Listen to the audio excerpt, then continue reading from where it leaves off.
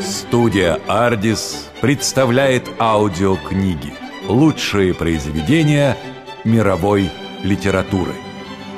Подробную информацию об аудиокнигах студии «Ардис» смотрите в интернете на сайте www.ardisbook.ru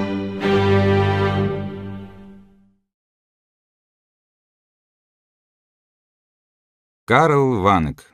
Приключения бравого солдата Швейка в русском плену. То обстоятельство, что испуганная корова расторгла связь между бравым солдатом Швейком и императором, за которого Швейк воевал, не оказало никакого влияния на душевное равновесие солдата. Окруженный русскими, шел он в плен навстречу неизвестному, так спокойно, беззаботно и доверчиво, словно отправился за сосисками к завтраку. Его ничуть не удивляло, что идет он от этапа к этапу, что все время меняются конвойные, что ведут его все дальше и дальше. Он брал у конвойных хлеб, пил их жидкий чай, и на вопросы, которых не понимал, отвечал приятной улыбкой и нежным греющим взглядом голубых глаз.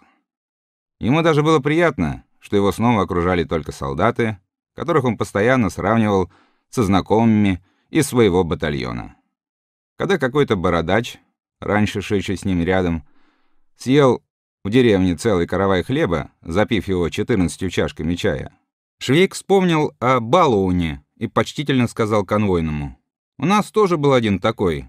Он поедал столько же, как ты. Звали его Балуун. Не доводишь ли ты ему родственником? У того тоже был желудок как пожарная кишка, и тот перед тобой, русский обжора, не ударил бы лицом в грязь. Тот бы тебе, приятель, показал, на что способен австрийский солдат. В ответ на эту речь, как и все другие замечания Швейка, солдат покачивал одобрительно головой и говорил: "Да, да, да" или "Хорошо". А Швейк, заканчивая разговор, прибавлял со вздохом: "Да-да-да, хорошо. Да-да-да. Если бы ты глупец умел говорить по-чешски или по-немецки, я бы тебя понимал. А то бормочешь, а я ни слова не пойму. Эх ты, дерьмо". Невозможность договориться с русским сильно мучила его. Он вспоминал о собраниях в Праге, на которых ораторы говорили, что Чехию спасет русский народ и что он принесет ей освобождение. Если бы Швейка спросили теперь, что он думает о русских и чехах, он сказал бы: Они говорят хорошо и пиво пьют здорово, все эти депутаты. Они ведь болтуны и глупые, как ступени на Петершинской башне. Никто из них ничего не понимает. Швейк ничего не боялся, потому что русские солдаты были с ним добры. Он дружески разговаривал с ними и с интересом смотрел, как они завертывали ноги в портянки, пропотевшие в высоких сапогах. Портянки эти были большей частью из мешков. Швейк узнал уже, что садись означало остановку и отдых, а подъем, пошел, пошел, было командой к продолжению пути. Он исполнял эти два приказания, как хорошо выдрессированная цирковая лошадь. Он все думал о том, какой царь у этих солдат, и пытался расспросить, называл ли он их в манифесте о войне мои дорогие солдаты. Но на каждое слово, которое он по этому поводу произносил, он получал только «да-да» или «хорошо». И, наконец, он сказал сам себе, «Должно быть, они больше ничего и не умеют говорить». Когда однажды русский солдат вместе с хлебом дал ему кусок сала, папиросу и сахару, Говоря при этом что-то непонятное, Швейк пришел к окончательному заключению насчет русского царя. Он положил солдату руку на плечо и сказал: "Послушай, ты, бородач, а ваш царь, кажется, порядочный человек". И солдат опять на это ответил как граммофон: "Да-да-да, хорошо, хорошо". В этот день знание Швейка в русском языке пополнил казак, который вел его штаб дивизии, отдыхавший в тылу фронта. Он осмотрел ранец Швейка и взял оттуда последние консервы, открывая коробку, спросил пленного: "У тебя только одна, мать? Ты почему их сожрал? А табак турецкий у тебя есть, мать?" И Швейк, охваченный радостью, что имеет возможность запомнить часто повторяющееся русское выражение, отвечал: "Консервы хорошо, турецкий табак, да-да, нажрись, вор, мать". Между ними завязалась дружеская беседа, и Швейк с удовольствием увидел, что казак относится к нему с уважением и, обращаясь к нему по-приятельски, улыбается. Вот военнопленный. Русские слова знает и понимает. Молодец, мать. За тот небольшой промежуток времени, пока они шли вместе, Швейк заметил, что его провожатый, с кем бы ни говорил, никогда эта мать не пропускает и не забывает упомянуть в начале или в конце каждой фразы, и что солдаты, отвечавшие ему на вопросы, также держались этого правила. Из этого Швейк понял, что вопрос идет о каком-то общепринятом выражении, которое свойственно людям хорошо воспитанным и порядочным. Когда казак передал Швейка в канцелярию штаба дивизии, в дверях показался молодой высокий офицер, который пытливо посмотрел на пленного и спросил его: "Ты где попал в плен, мать?" Швейк охотно и без колебаний ответил: "Осмелюсь доложить у Брод, мать, господин лейтенант. Почти у самой границы меня забрали, мать". При выражении этой учтивости офицер подскочил, ударил Швейка по правой и левой щекам, а затем закричал: "Кто тебя научил, мать? Так нельзя, нельзя говорить с начальством, сукин ты сын, мать". Видя, что офицером овладело бешенство, что он начал ругаться и трястись от злобы, Швейк понял, что он ответил неудачно. Взяв под козырек, он сказал: "Прошу прощения. Видно, вас тут ничем нельзя злоупотреблять.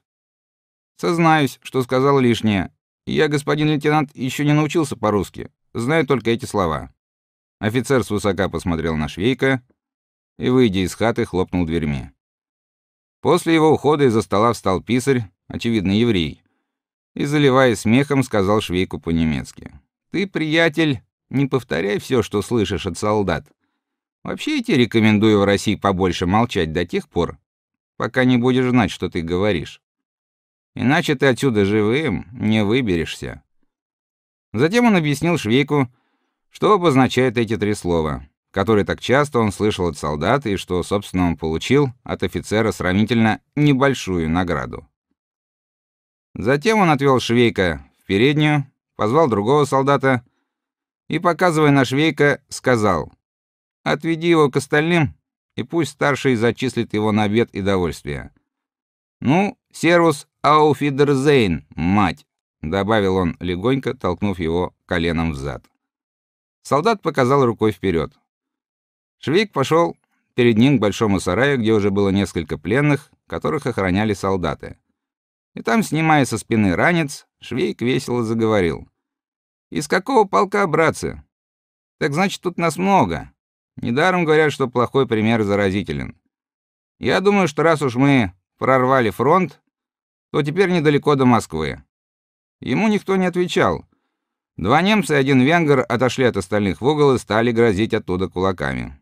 А Швейк, растянувшись на ранце, расправил утомленные ноги и стал философствовать. Да-да.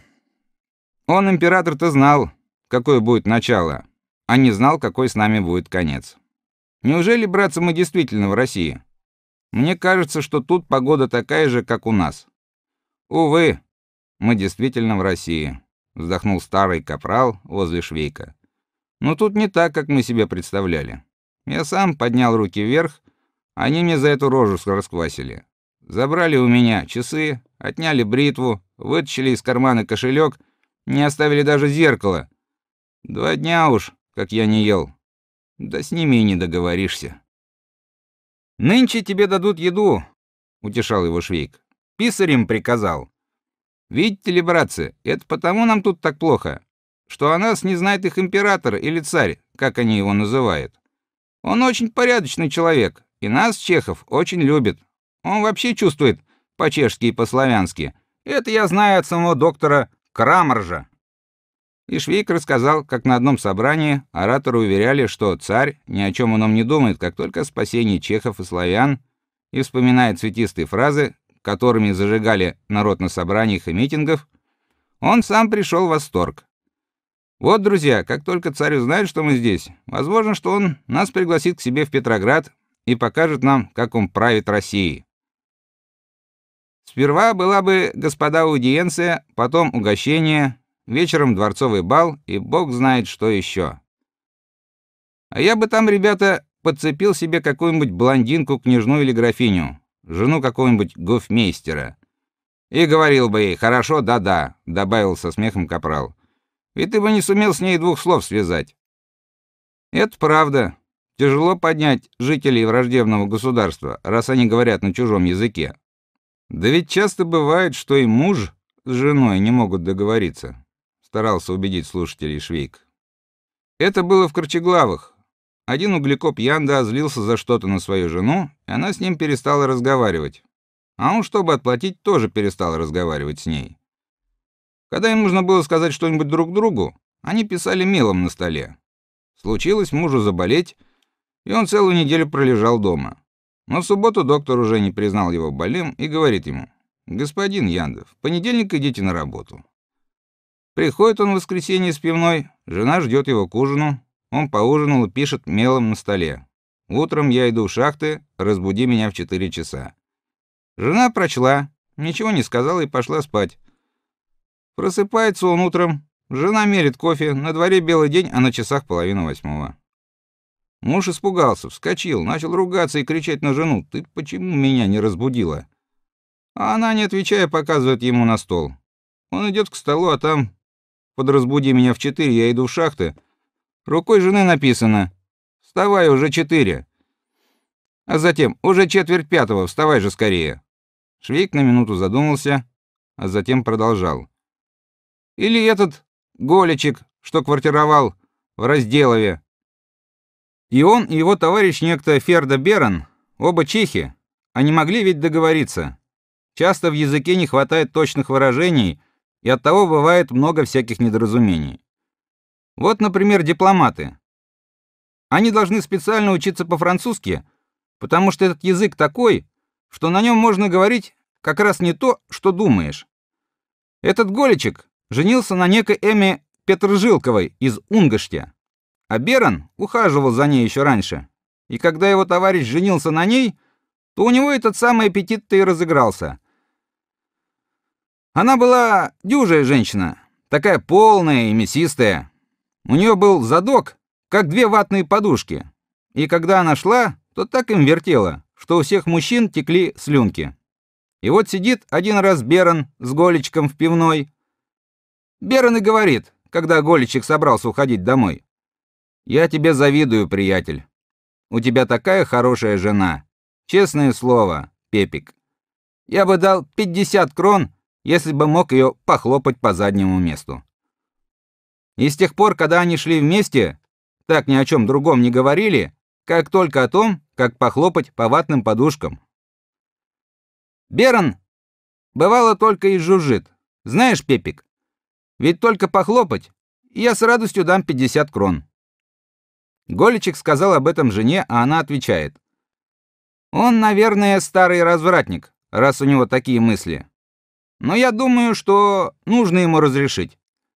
Ведь за 50 крон я куплю себе новое платье. От того, что он похлопает, меня не убавится. Но ты поставь ему условие, что ты будешь смотреть, а не этим мужчины не удовлетворяются одним супом. И только попади им ложка в руки, захотят целый обед. И вот, когда Ферда Берн надоел приятелю со своими разговорами о том, чтоб похлопать, Пепик Голичек сговорился с ним на воскресенье после обеда, но условился, что он на все это будет смотреть через стеклянную дверь в кухне, чтобы в случае необходимости прийти на помощь. А Берн, в свою очередь, уговорился, что на Эмме будет только нижняя юбка. Вот в воскресенье приходит Берн к Голичкам Эмма сидит в комнате в черной нижней юбке, а Голичек смотрит в дверь на нее. Берн входит, садится на диван, притягивает Эмму к себе левой рукой, обнимает за талию, а правой рукой гладит ее полушарие. Пять минут левой, пять минут правой и снова наоборот. Она краснеет. Голичек сидит как на иголках. Так прошло три четверти часа. Голичек наконец врывается в комнату и орёт во все горло: "Будет уж, давай 50 крон". А Ферда Берн посмеивается, заложив руки в карманы, и говорит: "Это неправильно. Я еще этот милый и дорогой задочек не похлопал. Ты и сам видел, что я его только гладил". Вот это, братцы, случилось в Разделове, возле Кладна. Поэтому Нельзя от меня требовать, чтобы я сразу договорился с дворцовой дамой в Петрограде, чтобы я говорил с нею о современном драматическом искусстве, когда она может быть какая-нибудь эскимосская баронесса Северного полюса. После этого разговора Швейк важно осмотрел русских солдат, прохаживавшихся перед сараем с длинными ружьями на плечах, и озабоченно произнес: "Нам надо лучше учиться говорить по-русски, иначе может получиться скандал. Главное, братцы, не говорите никому, кто ходит с серебряными погонами, мать. А тебе чего надо? спросил его русский солдат, услышавший последние слова Швейка. Курить хочешь? Вот тебе махорка. При этих словах он вынул из кармана маленький пакетик и высыпал что-то на ладонь Швейку. Затем отошел. Швейк, не понимая ни слова, с удивлением смотрел на оставшиеся у него на ладони зерна, похожие на крошеную рисовую солому. Швейк, Капрал и другие пленные смотрели на загадочные семена, которые очевидно должны были для чего-то предназначаться, но никто не знал, что с ними делать. Для еды это не годится, заметил Швейк, кладящий подку зерен на язык. Жжет как черт. Возможно, это порошок от вшей, предположил Капрал. Воняет как от пса. У них тут все не так, как у нас. Это, наверное, русский чай, мешался другой пленный. Вон из того котла они наливают горячую воду, но перед этим что-то сыплют в чайник. Насыпь немножко в чайник, а я пойду за кипятком. Швейк сыпал порошок с ладони в чайник, и пленный вышел из сарая. Русский солдат сбросил с плеча ружье и закричал: "Вернись, ты куда?" Но когда увидел, что пленный направляется к котлу, из которого шел пар, широко улыбнулся. "А, чаю захотелось. Бери, бери кипяток. Только не удери, а то пулю поймаешь". Пленный налил кипятку и вернул чайник швейку, тот попробовал и сплюнул. За ним глотнул капрал, и сделал страшное лицо. После этого другой пленный с отвращением отбросил чайник в сторону. Черт возьми. Удивительный чай, забормотал Швейк. У меня рот так и горит. Да он жжет сильнее, чем чистый спирт. Наверное, не нужно было столько класть, сказал пленный. А потом от него страшно несет табаком. Не упала ли у тебя, приятель, трубка в чай? У нас вот тоже был такой случай. Повар клялся и божился, что он налил в чай плохой ром, но в конце концов выловил оттуда трубку и вынужден был просить прощения. Конечно, развязно добавил капрал. На кухню всегда посылали неспособных людей. Но и получались такие скандалы. На нашей полковой кухне заведующим был один бывший танцор, а после него редактор социалистической газеты. Так приготовленный ими гуляш мы должны были доставать из котлов пиками, а порции рассекать саблями.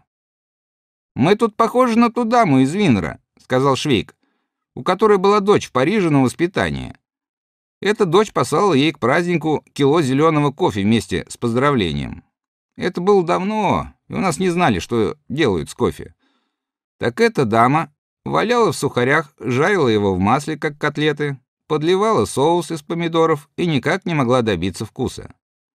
Наконец она его выбросила, а дочь хотела лишить наследства за то, что та будто пыталась ее отравить. В тот раз к Сензу из Карпина было много работы, пока он уговорил ее, чтобы она все свое имущество завещала доминиканцам или францисканцам в малой стране. Мы вот с этой штукой тоже не знаем, что делать. Может, теперь она будет уже лучше?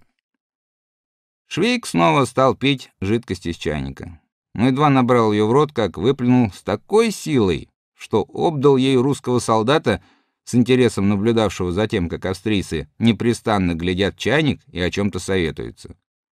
Затем Швейк упал на землю, схватился за брюхо и закричал: "Меня отравили! Пришел мой последний час. Передайте поклон моей Праге пани Мюллеровой, другу Палевцу и сей Чехии". Русский солдат, услышав этот крик, вытер рукавом грязное лицо, снял ружье, подойдя к швейку, спросил: "Что тут такое? Тебе дурно, да? Заболел, наверное?" Швейк, тяжело стеная, показал пальцем на чайник. Солдат посмотрел на него и разразился неудержимым смехом. Вот дураки. Ведь это махорка, а не чай. Вот как нужно делать. Солдат вынул из кармана такой же пакетик, из какого Швейк получил в подарок зерна, вытащил из-за голенища кусок газеты, разорвал ее на четвертушки, свернул цигарку, насыпал в нее зерен, завернул конец, вложил цигарку между зубов, зажег спичкой и с наслаждением выпустил облако дыма. О, брат, как надо. Это махорка русский табак.